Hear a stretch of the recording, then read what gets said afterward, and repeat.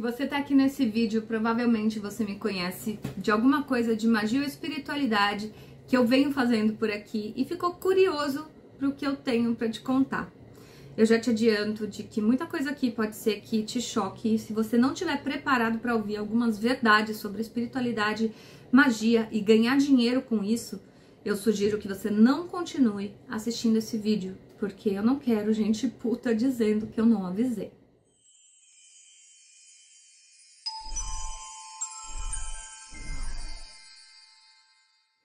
E aí, gente, eu sou a Tracy. Esse aqui foi por muito tempo o canal Na Descoberta de Mim, até ele virar é, o Magia com Tracy. Só que o que vocês não sabem foi o que aconteceu nesse meio tempo antes da mudança de nome.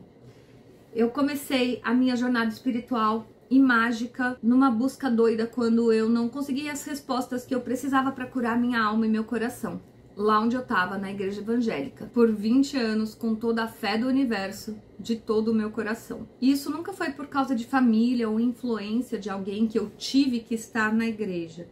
Com 19 anos, eu decidi voltar oficialmente para a igreja que eu já tinha conhecido na pré-adolescência com a minha mãe, porque eu queria é, ter em que acreditar. Eu sempre fui muito sonhadora, e além de uma vida confortável para mim, para as pessoas que eu amo, eu queria ter o suficiente para fazer além. Eu queria ter o suficiente para ajudar todo mundo que eu queria ajudar e que eu sempre me via de mãos atadas, porque tudo acabava se resumindo em dinheiro. Tem gente que já me conhece aqui de outros carnavais com o meu outro canal, que começou sendo de produtos de beleza e acabou se tornando totalmente de variedades, onde até hoje eu posto uma outra coisa ainda de variedades. Inclusive esses dias eu postei lá sobre o meu bypass intestinal, que agora vai fazer 10 anos, contando como eu tô, como tá funcionando hoje depois dessa cirurgia, que inclusive nem era aprovada pelo Conselho de Medicina na época.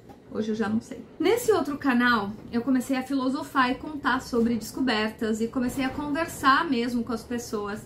Mas eu percebi que não teve muita aceitação. Eu já era influenciadora nesse canal, fazia várias parcerias, ia em vários eventos, fazia publis e mais publis. E eu não queria perder esse engajamento desse canal, falando de coisas que eles não queriam ouvir. Mas eu senti que eu precisava colocar para fora tudo isso que eu tava descobrindo. E eu vou dizer para você que eu realmente nunca fui de querer me aprofundar muito nas coisas. Apesar do quase diagnóstico de bipolar que eu tenho, em fases que seriam de mania, essas fases eram muito seletivas. O que eu não sei direito se eram realmente essas fases de mania ou se era só eu muito interessada em algum assunto específico. Mas nessas de abrir outro canal, como eu tava buscando essas respostas enlouquecidamente para arrumar minha vida amorosa, que inclusive sempre foi o mais importante para mim, eu fui conhecendo a espiritualidade e a magia, até que eu resolvi falar efetivamente sobre tudo isso. Eu comecei essa fase com um vídeo de ayahuasca. Eu já tinha ouvido falar dessa bebida algumas vezes, mas ninguém de fato falava onde como conhecer. Nessa época eu coloquei no Facebook que se alguém soubesse sobre isso e tal para me falar e alguns amigos apareceram e me convidaram. O primeiro lugar que eu fui foi o Santo Daime, que aliás eu não gostei. Esse vídeo ainda tá aqui no canal e ele foi meio que polêmico porque eu contava como uma leiga que eu era no assunto sobre a experiência com a bebida.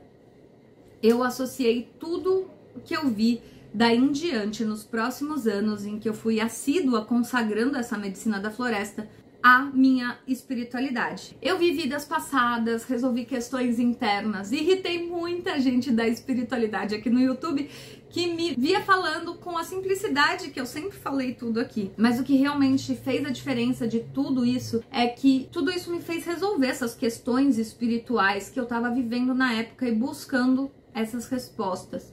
Eu cheguei a escrever um livro com toda essa história, que inclusive está na Amazon, chama Na Descoberta de Mim, e eu já estava escrevendo antes de conhecer a ayahuasca e saber tudo que eu vim saber depois que eu conheci a espiritualidade também. E aí simplesmente o livro fluiu contando a minha história desde que eu saí da igreja e tudo que eu passei para chegar até a Goetia, magia. Se você me segue aqui no canal, você já me viu falando inúmeras vezes de magia e do sistema mágico Goetia. E ele foi outro divisor de águas na minha vida, assim como a ayahuasca. Eu travei umas batalhas malucas na minha cabeça entre fazer o que Deus talvez quisesse que eu fizesse e fazer o que eu achava que deveria fazer para ser feliz Foram rituais e mais rituais que eu fiz me sentindo culpada, me sentindo com ódio, tipo uma filha rebelde. Até chegar finalmente num sentimento de, na verdade, não importa. O sentimento não veio logo, apesar da minha coragem de fazer tudo que eu meti as caras para fazer. Eu não me aprofundei muito, li alguma coisa na internet e fiz o primeiro ritual. Depois, li mais alguns textos e fiz outro ritual. E aí eu comecei, enfim, a falar sobre isso no canal alguns anos depois. Eu demorei muito para entender de fato o que eu estava fazendo, inclusive, finalmente lendo o livro base da Goetia, que é o Lemegeton. Foi sofrido, foi difícil, foi interminável, foi chato, muito chato. Mas falando sobre tudo isso no meu canal, eu senti a necessidade, depois de um certo tempo, de entender de fato o que, que era esse sistema mágico que eu já praticava e que já funcionava para mim. Eu cheguei a pensar que eu tinha sido uma grande feiticeira em outra vida, que é o que todo mundo adora dizer que foi, né? Eu adorava imaginar que eu tinha um dom para magia e que por isso tudo que eu fazia dava certo no embalo de saber o que eu estava fazendo para dar certo, mas não saber o porquê estava dando certo, foi quando me foi sugerido de criar um curso. E eu não me sentia capaz para fazer isso, mas não demorou muito até que me convencessem. Em mais de um vídeo, eu cito que me disseram que sempre tem alguém que sabe menos que você quando eu disse que não tinha nada para ensinar. Eu lembrei das vezes que eu me voluntariei na creche do lado do meu prédio para dar aula inicialmente de inglês. Na sequência, eu já fiquei e coordenava o coral e dava aula de informática também. Eu não era mestra em nenhuma dessas coisas, mas eu sabia muito mais do que as crianças carentes de 10 anos que estavam lá. Eu tinha só 16. Naquela época, eu já fazia diferença na vida dessas crianças que me agradeciam e esperavam a semana inteira pelas minhas aulas. E realmente o brilho dos meus olhos em pensar que talvez eu pudesse ganhar dinheiro ensinando o pouco que eu sabia para quem não sabia nada, me animou, já que inclusive eu tinha plena certeza de que o que eu fazia funcionava. Se você pegou o início do curso, provavelmente você se deparou com textos e vídeos onde eu falava que não adiantava me perguntar nada além do que estava lá, que eu não ia saber explicar. E era verdade. Sim, na cara dura eu falava que não ia dar suporte para as pessoas que comprassem o curso. Mas eu sempre fui assim. Eu só ponho uma ideia na cabeça, concretizo e se der certo, beleza. Se não der, beleza, eu sigo em frente e foi exatamente isso que eu fiz com o curso também. Aconteceu isso com o meu estúdio de foto, que não deu certo porque eu não consegui divulgar, mas no meu estúdio de foto eu acabei aprendendo na marra a maquiar e além de foto eu fazia também maquiagem. E aí um estúdio de fora quis me contratar para maquiagem. E eu, nova como era, ganhando basicamente para mim, sem ter que ajudar nada em casa na época, porque a gente estava numa condição estável, eu me joguei e tentei. Trabalhei como maquiadora por alguns anos e deu bem certo. Eu trabalhei também como web designer, oferecendo para quem não podia pagar um web, um web designer de verdade um serviço meia boca, mas também ganhava dinheiro com isso e a galera que fazia estava feliz com o serviço. Aliás, na época de web design, eu tinha 16 anos e estava passando uma fase muito complicada na minha vida.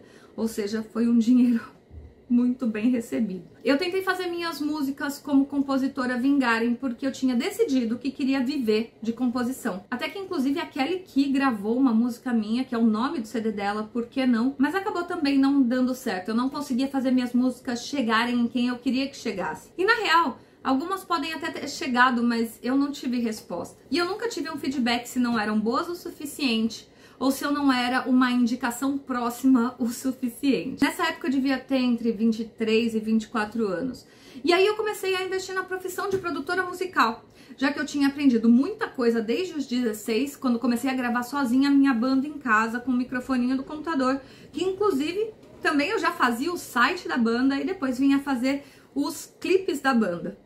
Quando eu aprendi, enfim, a arranjar a música, fazer um instrumental, o karaokê da música para eu cantar em cima, mesmo sem saber tocar instrumento nenhum direito, eu ia meio que catando milho no teclado de música. Foi quando eu comecei a trabalhar de fato como produtora. E eu não sei se deu certo ou não deu certo, porque eu tinha muito trabalho, mas eu cobrava muito barato, porque nem eu confiava tanto assim no meu tapo. Eu estava começando, eu nunca tinha feito curso de nada disso, que ia tudo no chute, na louca, como eu sempre fiz, de novo e de novo. Até que aos 24, 25 eu tive uma grande ideia: importar coisas de fora. Ninguém falava sobre dropshipping ainda. Isso era tipo 2006, 2007. E isso surgiu de uma forma engraçada.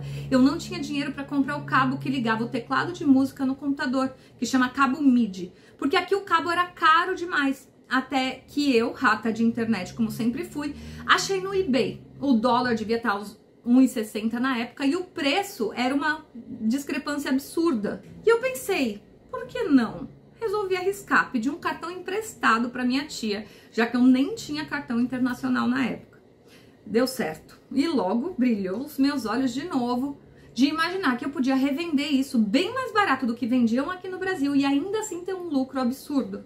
Foi assim que a minha loja virtual começou. E calma, eu vou chegar onde eu enganei todo mundo na magia. Mas antes eu quero te contextualizar para você entender que tipo de pessoa eu sempre fui. Bom, eu sempre me autodenominei empreendedora pra caramba. Tipo, destemida, sabe? Eu quebrei a cara boas vezes e ainda bem que eu tive suporte da minha família, mesmo que aos trancos e barrancos, mas foi.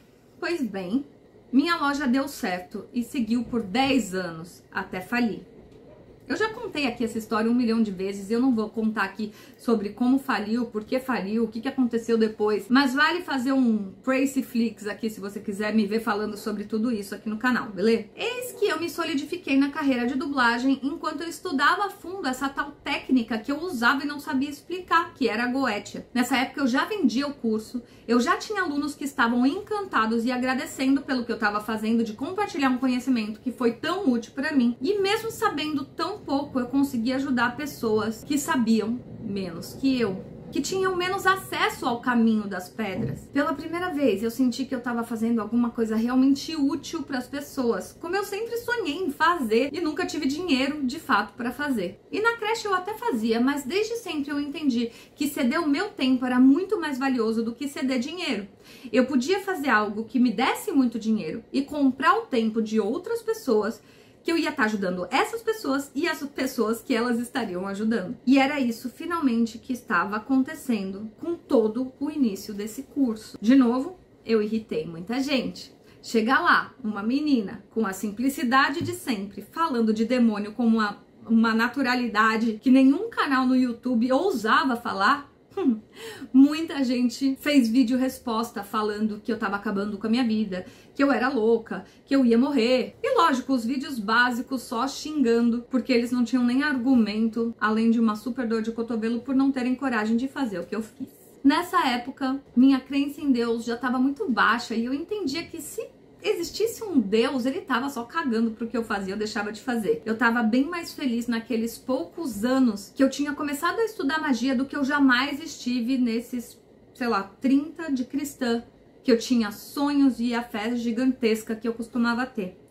Eu cheguei a substituir Deus por Lilith, cultuando e tendo várias bênçãos dela como uma boa cristã revoltada que queria outra coisa que me atendesse melhor do que a ideia de Deus mas que soubesse o que era melhor para mim. Mas vamos combinar que esse Deus que sabia o que era melhor para mim tava me deixando na merda que eu tava faz tempo, então eu queria outra coisa. Com o tempo, isso também foi perdendo força. E engraçado que quanto mais eu estudava, e eu tava realmente empenhada, já que o curso era um sucesso e eu queria incrementar mais ele, quanto mais eu fazia isso, minha fé ia diminuindo cada vez mais. Eu já tava entendendo que magia não dependia de fé. Eu fiz cursos, li livros, entrei em ordens, comecei a ter um conhecimento totalmente diferente daquela primeira pessoa que só ensinou uma receita de bolo que deu certo para mim. Para um monte de gente conseguir fazer esse bolo também. Já funcionava, mas eu sempre quis mais. Eu nunca gostei de me aprofundar nas coisas. Eu sempre tive preguiça, mas por algum motivo a magia me fascinava de um jeito que me fazia querer ir atrás. Porém, eu sempre preferi os mestres mais do que os livros. Meus estudos eram baseados primeiro no que os mestres me falavam, para depois eu ir pesquisar, entendendo melhor e tirando as minhas próprias conclusões. Eu tive bons mestres e maus mestres, mas com todos eles eu tive uma coisa que quem fica dois anos estudando Lemegeton não tem: experiência. Minha vida toda foi pautada em criar minha própria experiência. Eu fiz curso de foto quando eu já trabalhava profissionalmente com foto. Eu fiz curso de maquiagem quando eu já trabalhava profissionalmente com maquiagem. Eu fiz curso de web design quando eu já trabalhava profissionalmente como web designer. Eu fiz curso de produção musical quando eu já trabalhava profissionalmente como produtora musical. Tem coisas que eu nunca nem fiz curso e ainda assim trabalhava, porque eu batia a cabeça, aprendia a fazer e fazia. Photoshop ou o próprio dropshipping, quando de novo ninguém sabia o que era dropshipping, nem tinha essa palavra ainda. Nessas eu cheguei num patamar de conhecimento em que eu achei que era suficiente para deixar o meu curso realmente bom, tirando enfim todas as dúvidas que as pessoas tinham, porque agora eu sabia responder. E ainda assim, deixando o curso simples e efetivo como sempre foi desde o começo. Isso irritou de novo e de novo e de novo a internet. Se você procurar no Google sobre Goetia, você inevitavelmente vai cair em algum conteúdo meu, seja vídeo ou de alguém falando de mim. Eu fui me aprofundando também no marketing digital, onde eu entendi como tinha que ser a, estru a, estrutura de um lançamento. Fui me apaixonando de novo enlouquecidamente por essa prática, talvez seja a minha bipolaridade falando aí. Já que eu sempre fui empreendedora e agora eu tinha serviços reais e bons para vender. Eu fiz inúmeros lançamentos de turmas e mais turmas do meu curso que já estava bem além de um curso de Goetia. Até hoje, inclusive, eu digo que você pode aprender Goethe, Goethe lendo Le Megeton. Você pode ler um livro e aprender Goethe, tá tudo certo. Mas o meu curso não é uma releitura do livro como várias apostilas que eu comprei na época que eu comecei, que eram praticamente xerox do livro, sem nem se darem o trabalho de mudar alguma coisa ou escrever com as próprias palavras. Bom, mestres e mestres à frente disso, eu me deparei com o hermetismo.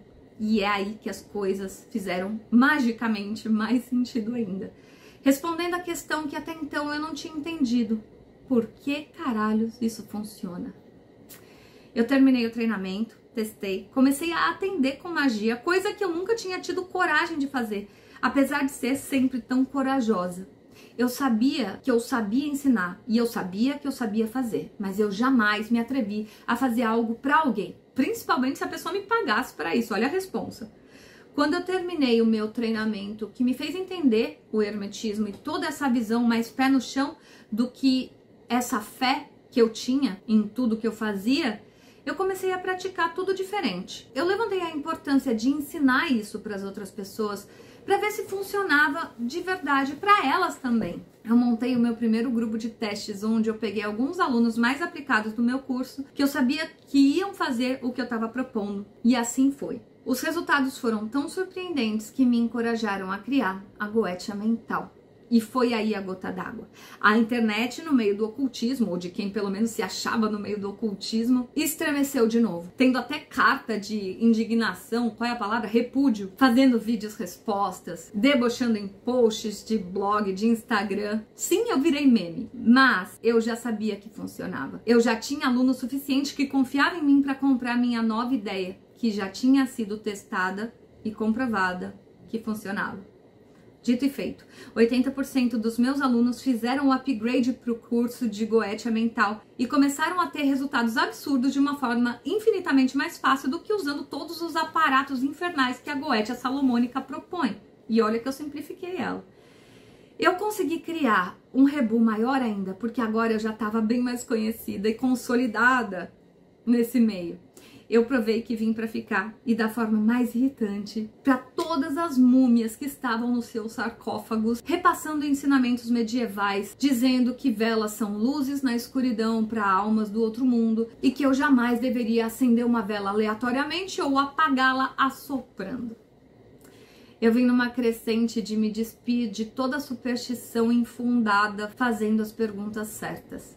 Inclusive, falar disso me lembra do Siegfried. Ele me falava sempre assim: que não existem respostas certas, mas existem respostas erradas. E eu fui entender isso muito depois, é, de uma forma que eu nem sei se ele mesmo entende assim.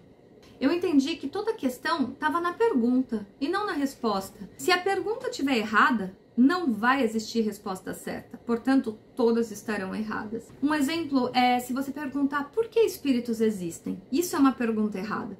Você tem que partir do ponto de perguntar primeiro: espíritos existem? E a partir daí, que talvez você não encontre essa resposta, tudo que vem depois é subjetivo e fica no campo das ideias. E aí vai depender de crença, do que faz bem para cada um. Bom, por mais que eu falasse, explicasse, fizesse vídeos e mais vídeos respondendo, informando, atualizando tudo que eu encontrava, incrementava e mudava nas minhas crenças e formas de pensar, eu fiquei conhecida pela Goetia Kids, ou Goetia da Barbie.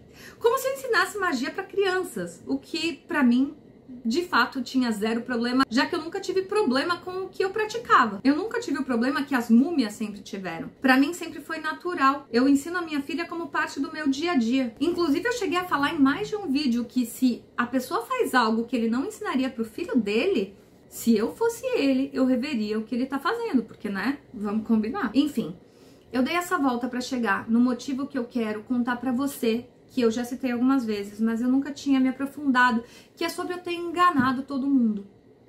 Complicado falar sobre isso. Depois de aderir ao hermetismo como filosofia de vida mesmo, depois de ter criado a Goetia Mental, de ter angariado centenas e centenas de alunos, de fato eu entendi que a magia está na relação. Quando eu conheci o meu marido há quase cinco anos atrás, eu ouvia muito ele falar essa frase e eu não fazia ideia do que isso significava. Era como uma palavra que não está no meu vocabulário, que a gente simplesmente deixa passar despercebido.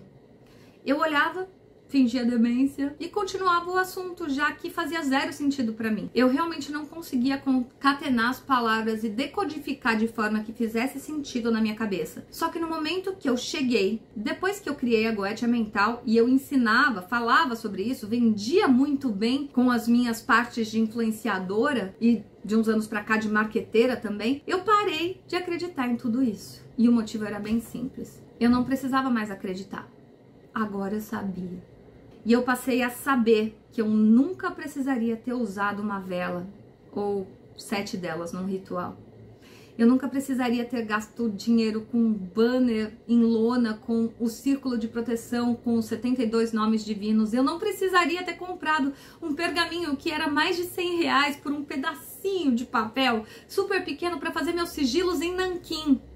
Eu descobri sobre duendes, sobre signos, sobre espíritos, sobre vidas passadas e sobre tudo que até então eu gostava, acreditava e usava em tudo que eu falava e ensinava. Eu nunca precisaria disso se eu entendesse o que eu entendi depois dessa jornada gigante. Eu demorei muito para deixar a ficha cair. Não dependia de mim. Eu acho que era o momento, a vivência e, como tudo na vida, a experiência. Só que eu já tinha escrito um livro inteiro falando sobre as minhas outras encarnações e tudo que eu aprendi com elas, que me trouxeram até aqui hoje, falando com você nesse vídeo.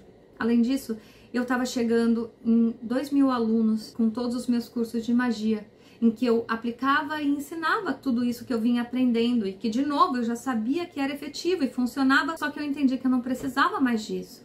E de repente eu me senti a maior impostora do universo, enganando duas mil pessoas que confiavam em mim. Elas tinham sim suas vidas transformadas, mas acreditando em quê? Em besteira. Nessa época, o meu conteúdo na internet reduziu drasticamente e eu não sabia o que fazer. Eu pensei em largar tudo, isso porque começar do zero, falando ao contrário de tudo que eu já tinha falado até hoje, parecia não fazer sentido para mim. Eu só não acreditava em mais nada. E eu sabia que os meus alunos não queriam ouvir isso. E eu não sabia o que fazer foi mais ou menos uns três meses de confusão mental, onde eu dormia e acordava, acordava pensando no que, que eu ia fazer com a minha carreira de influenciadora, maga e professora de magia. Eu ainda dava suporte para os meus alunos e mantinha a pose para que ninguém desconfiasse a crise existencial que eu estava tendo. Eu tentei me afastar e me concentrar só na minha carreira de dublagem enquanto eu não chegava a uma conclusão. E eu tive sorte de ter mestres bons, muito bons mesmo, mesmo tendo aqueles que um dia eu tive tão ruins. Esses mestres são os que eu ainda posso recorrer quando eu tenho minhas dúvidas, meus questionamentos sobre o que eu faço, sobre o que eu posso fazer, sobre o que eu sou, enfim, um possível caminho para seguir, como esse impasse que eu me encontrava na época. Conversar com eles me ajudou, mas eu não me senti no direito de continuar enganando pessoas vendendo os mesmos cursos, que apesar de estarem infinitamente mais densos do que lá no início e fazerem a diferença gigantesca na vida dessas pessoas, não era o que eu acreditava mais. Eu cheguei a cogitar deixar só o início do curso, que é toda essa base para magia, entendendo como a magia funciona e, enfim, por que funciona, coisa que eu vim entender muitos anos depois que eu praticava. Eu sempre fiz questão de passar isso no, no início para os alunos. Eu queria que desde o início eles não ficassem com ideias malucas que eu mesma tive no início, achando que magia faz o que magia não faz. Eu ensino eles as estratégias que eles podem levar para a vida, que é basicamente conhecimento, que é o que hoje eu sei que é magia. Nesse stand-by que eu dei, em algum momento caiu a minha ficha, que é a minha ficha da vida. Porque eu sabia como funcionava é que agora eu podia de fato usar tudo isso que eu não acreditava mais com propriedade. Isso foi outro divisor de águas na minha vida e sim, eu tive alguns riscos. O meu processo de entender tudo isso levou quase 10 anos. 10 anos fazendo magia, 10 anos estudando, 10 anos aprendendo, 10 anos ensinando e agora cinco anos atendendo pessoas toda semana que vêm pedindo ajuda e que eu ajudo com essas magias que eu faço, sem usar nada do que eu ensinei nos meus primeiros cursos de magia. Para não dizer que não, eu comecei a sentir falta de tudo isso e quando comecei a fazer pactos para as pessoas que me pediam, que era muito eventualmente porque eu não divulgava isso de jeito nenhum, aí sim eu fazia todo o teatro de novo. Eu entendi o que esse teatro faz na cabeça das pessoas, inclusive na minha. Eu sempre tive acostumada com essa magia ritualística que eu comecei praticando. Isso tudo significa que você não precisa de nada que você usa hoje para fazer o que você faz, se você já faz. Mas talvez você só vai entender isso depois de ter a bagagem suficiente para poder afirmar de fato que Exu não existe, que Odin não existe, que Hecate não existe que Deus não existe, que espíritos não existem, mas que você pode usar tudo isso e que funciona mesmo não existindo. Isso é conhecimento. Isso é magia. Liberdade de ser e fazer o que você quiser dentro do que você acredita. E por favor, dentro das leis. E que muita gente nunca entendeu desde o meu início na magia. Agora eu resolvi escancarar para o mundo sobre pactos, como eu nunca vi mago nenhum na internet fazendo. Sim, é uma forma a mais de ajudar as pessoas e cumprir o propósito que eu tenho para mim, mesmo não acreditando em entidades. Eu não preciso acreditar. Eu nunca precisei. Eu só não sabia. E mesmo não acreditando nessas entidades que eu mesma tenho os meus pactos, como eu já contei algumas vezes aqui no canal, eu faço isso. E sabe o que é mais legal? Isso vai dar ruim de novo com as mesmas múmias da magia, que não precisam ser velhos, não. Ex existem múmias novinhas também. E quer saber? Eu quero mais é que elas se retorçam nos seus sarcófagos e se roam de raiva, aproveitando a única forma de se promoverem, que é falando mal de alguém, para divulgarem seus próprios cursos e serviços. Sim, porque todos eles oferecem cursos e serviços. Como inclusive eu mesma divulgo sempre os meus amigos, magos e não magos, o que eles fazem. Todo mundo vende alguma coisa. E sempre vai ter alguém querendo comprar, precisando do que você faz. E eu ajudo eles porque eu tenho ciência do poder que eu tenho conhecendo sobre copywriting e marketing digital. Quem está comigo se beneficia de todas as formas possíveis, porque eu tenho prazer em ajudar não só os desconhecidos, como eu faço nos cursos, mas também as pessoas que estão à minha volta, óbvio. E olha, eu posso dizer com certeza que o melhor pacto que eu já fiz, de todos os que eu fiz na minha vida, foi o pacto para ter conhecimento. Isso não me deixou estagnar. Isso é a fonte da minha inspiração contínua para criar tudo o que eu quero de projetos, de músicas, de cursos, de livros, de ideias. Com conhecimento, você tem mais possibilidades. Parafraseando meu marido Nino Denani. Conhecimento te dá dinheiro, te dá poder, te dá estabilidade, te dá as chaves que você precisa para sua felicidade, porque você está pleno para buscar o que você quer, sem se preocupar com conta, com boleto, com dívida. E olha, você pode ouvir que o que eu conheço não é suficiente para eles, mas para eu ganhar dinheiro e cumprir o meu propósito de estar à frente de uma ONG de gatinhos, para minha família estar tá tranquila e feliz, para espalhar conhecimento para mais e mais pessoas, para que elas consigam fazer exatamente o mesmo, isso é suficiente para mim, que no final é o que importa, né? Então, bem-vinde ao meu império, que eu luto a cada dia para que cresça cada vez mais e que cada vez mais pessoas me conheçam para que eu possa levar com simplicidade e verdade tudo que eu descubro que pode mudar a sua vida como mudou a minha. E se algum hater chegou até aqui, o que raramente acontece, porque é bem mais legal pegar 30 segundos, segundos de vídeo e supor sobre o, o que, que o vídeo se trata e falar mal para ver se atrai seguidores para essa vida medíocre, eu tenho a cereja do bolo para você, hater. Eu vou ensinar sobre pactos com magia branca no evento fechado, onde sim eu vou cobrar. É R$ 9,90 para quem quiser participar ao vivo no dia 28 de 10 de 2023. E o que os haters vão ficar mais putos é que você vai querer participar, porque você também tem um propósito. E se você parou de verdade para ver esses quase 40 minutos de vídeo, você entendeu o quanto é real e sólido o conteúdo que eu tenho para te passar. Eles que lutem de não saber fazer igual. O link tá aqui embaixo. Espero você. Por hoje é só. Beijo para você.